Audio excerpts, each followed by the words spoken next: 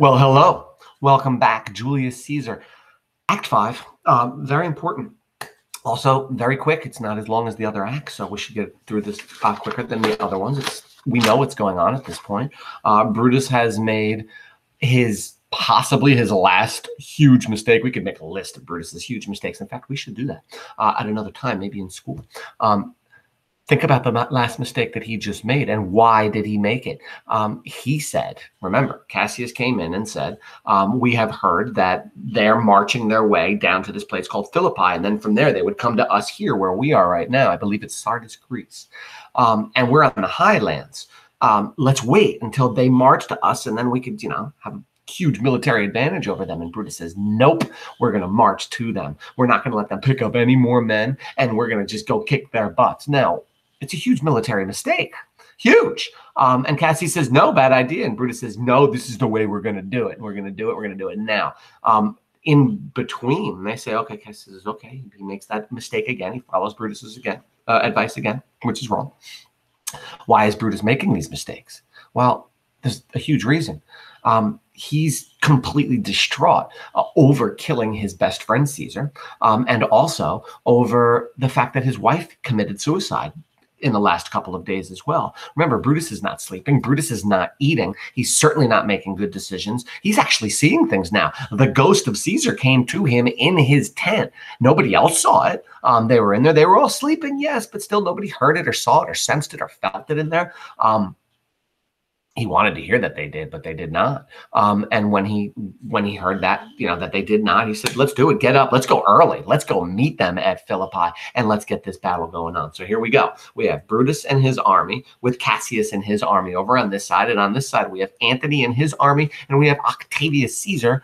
Uh, at, this is Caesar's nephew, or who is Caesar's nephew on that side. Now, if you're Anthony and Octavius, and you're at Philippi, and you're waking up, you have you know, two things are going to happen, right? Either they march to you, and that would be like, woohoo, they're here. Let's just battle them out right here on this flat ground. Or, uh oh, they didn't. We have to march to them and then go up the hill and take our chances. Of course, we know what they're going to find when they wake up. Here we go. Let's pick it up. Act 5, Scene 1. Enter Octavius, Antony, and their army. Octavius, now, Antony, our hopes are answered.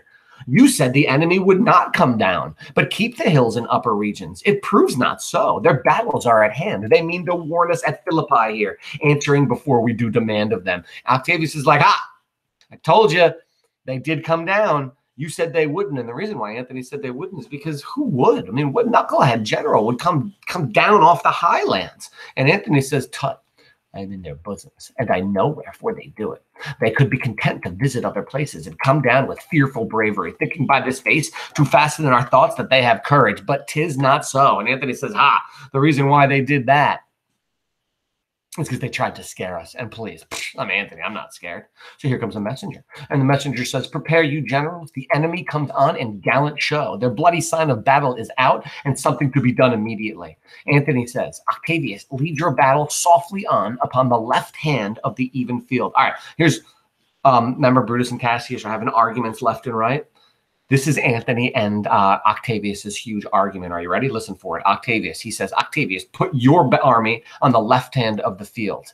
Octavius says, upon the right hand, keep thou the left. He says, I'm going to go on the right. You go on the left. And Anthony says, Why are you crossing me in this? Why don't you just do what I say? And Octavius says, I do not cross you, but I will do so. And he's like, oh, All right, I'll take the right, you take the left. My bad and they march. So that's the fight. Anthony's like, really? You're not going to do what I say? And he's like, all right, I'm not not listening, but okay, I'll do it. That's the end of their fight, and they go their, their, the ways that Anthony wants them to. Which, by the way, in a battle, there should be just one person making the plans, right? Because if two people are making the plans, then you're going to have alternate plans, and things aren't going to work out the way. It has to be all synchronized, right? It's very important. So March, they go do their thing drums, da, da, da, enter Brutus, Cassius, and their army, including Lucilius, Titinius, and Messala. Brutus says, they stand and would have parley. Cassius, stand fast, Titinius. We must out and talk. Okay.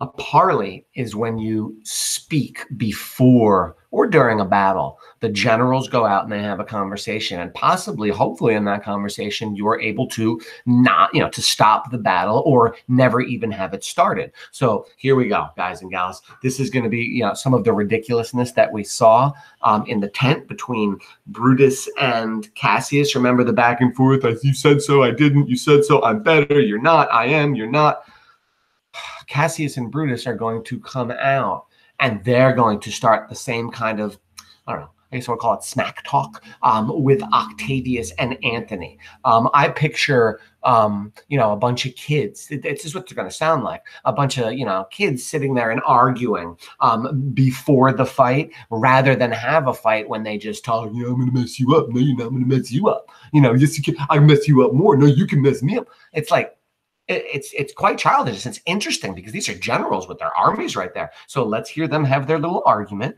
um, and let's see do they actually have a battle. I'm interested. Let's find out. Brutus, they stand and would have parley. Cassius, stand fast, Titinius. We must out and talk. Octavius, Mark Antony, shall we give sign of battle? Antony, no, Caesar. We will answer on their charge. Make forth. The generals will have some words. Octavius to his officers, stir not until the, the signal. The generals step forward. Okay, ladies and gentlemen. So the four generals come up together, and we're going to have a little smack talk session. Let's see how this works out. Brutus, words before blows. Is it so, countrymen? Octavius, not that we love words better as you do. Ooh, Octavius threw a little diss at Brutus. He's like, that's all you like to do is talk, big boy. And Brutus says, good words are better than bad strokes, Octavius. And Brutus is like, well, at least I'm a good talker. You're a bad fighter. and Anthony says, in your bad strokes, Brutus, you give good words. Witness the hole you made in Caesar's heart, crying, long live, hail Caesar. And Anthony brings it right back. And he's like, yeah, you had words and you had deeds when you murdered Caesar. And Cassius says, Anthony, the posture of your blows are yet unknown, but for your words, they rob the Hybla bees and leave them honeyless. he just said, Anthony, be quiet. Stop talking your smack. Nobody knows how good you are. You know, you're like a bee without honey. And then Anthony says, not stingless, too. And he's like, well, I got a stinger. And Brutus says, oh, yes, and soundless, too.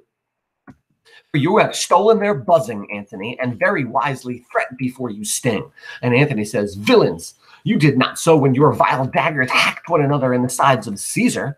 You showed your teeth like apes and fawned like hounds, and bowed like bondmen, kissing Caesar's feet, whilst damned Casca like a cur behind struck Caesar on the neck. Oh, you flatterers. Darn good point. Antony called it straight out. He's like, because they just said, Brutus and them just said, You guys just talk and flatter people. You're not real fighters. And Anthony's like, What? You're calling us flatterers? You guys are, you guys got down on your hands and knees before Caesar and, you know, acted like, like, like, like bondmen, like slaves. And then you had somebody come up and stab them in the back. You want to talk about wimps. And Cassius says, Flatterers, now Brutus, thank yourself. This tongue hath not offended so today if Cassius might have ruled. And Cassius looks over at Brutus, he's like, Man, if you had just let me kill this guy, he wouldn't be here dissing us right now. And Octavius says, Come, come. The cause. If arguing make us sweat, the proof of it will turn to redder drops. Look, I draw a sword against conspirators. See, here comes Octavius. He's heard the three of them have this little, you know, argument back and forth. I'm tougher. You're not tougher. You have no sting. I have a sting. I, That's what they were doing, right? Octavius pulls out his sword. He's like, guys, done. I just pulled my sword. I'm done with this nonsense. He said, When think you that sword goes up again? Never till Caesar's three and thirty wounds. Ah, it was 33 times they stabbed Caesar, not 23, 33 times. OMG, right? Seven of them, eight of them did it, 33. I'm not a very good math guy, but that's four each man with one extra, right? For good luck. OMG. Be well avenged, or till Caesar have added slaughter to the sword of traitors. Look at Octavius. He pulled out his sword. He goes, Guys, I'm not putting this down again until you guys are dead with it. And Brutus says, Caesar, thou canst not die by traitors' hands unless thou bring them them with thee. He says, and Octavius says, So I hope I was not born to die on your sword. And Brutus said, Oh, if that were the noblest of thy strain, young man, thou couldst not die more honorable. so Octavius joins in in this nonsense. Octavius says, I was never meant to be killed by your sword or you. And Brutus said, You would be lucky to be killed by me. And Cassius says, A peevish man, worthy of such honor, joined with a masker and a reveler.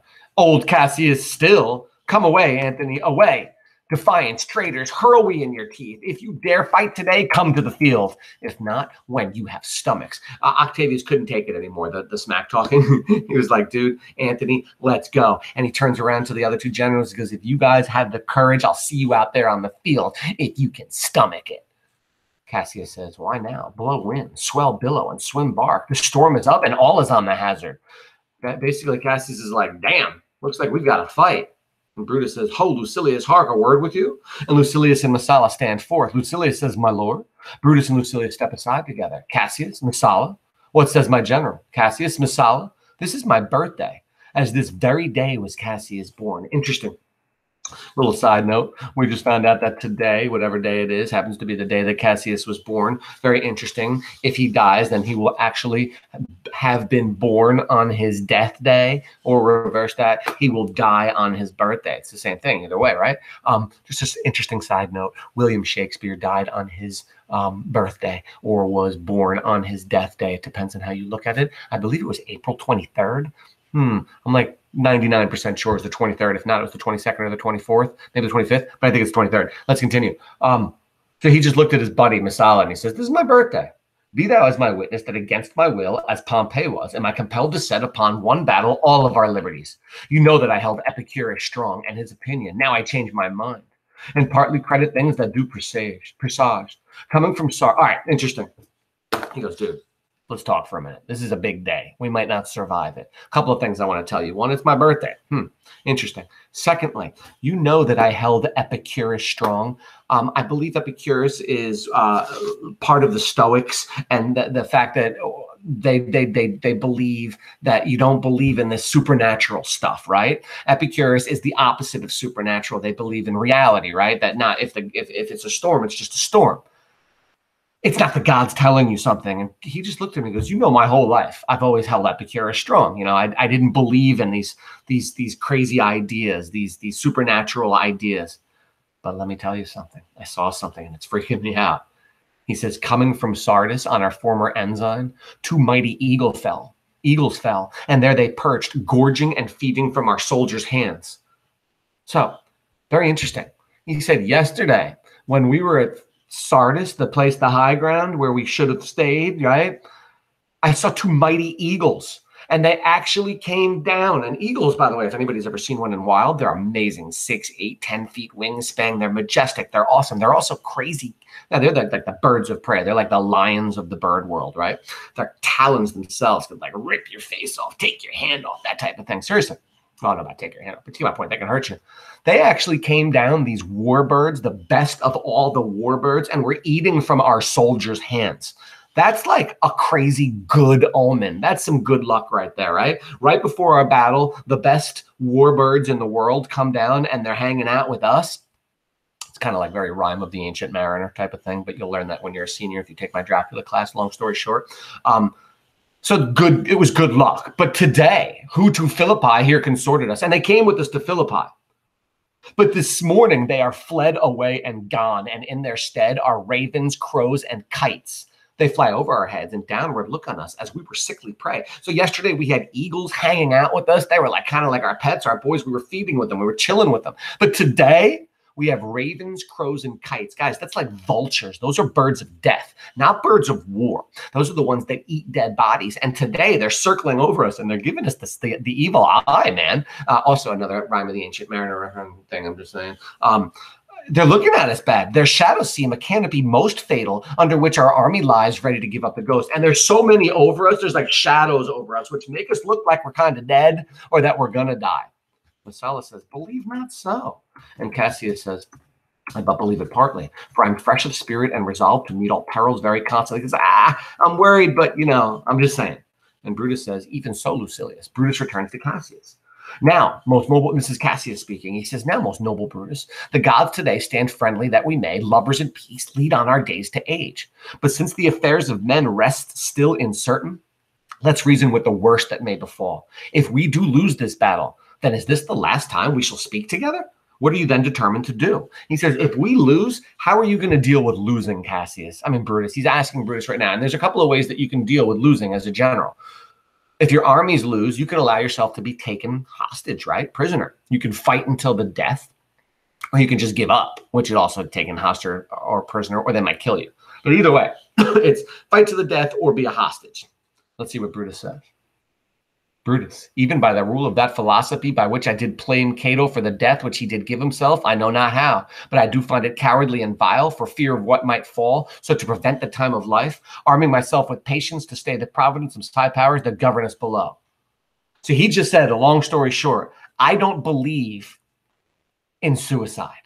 He goes, I don't like that Cato did that. Apparently, there's a guy named Cato who killed himself. He says, I don't think it's cool. He says, I don't think people should kill themselves because they're afraid of what might happen. They should face whatever is going to happen. So I'm not going to do that. And Cassius says, then if we lose this battle, you are contented to be led in triumph through the streets of Rome. I mean, think about that. He's like, so if you lose and you're you're caught prisoner, you're going to let them lead you through the streets of Rome. Do you know what they did to prisoners in the streets of Rome? I mean, throwing like tomatoes and eggs at them. That that would be a good thing for them to do it. And by the way, what do they do with prisoners in Rome anyway? Sometimes they throw them to the lions or to like the gladiators. Let's not forget.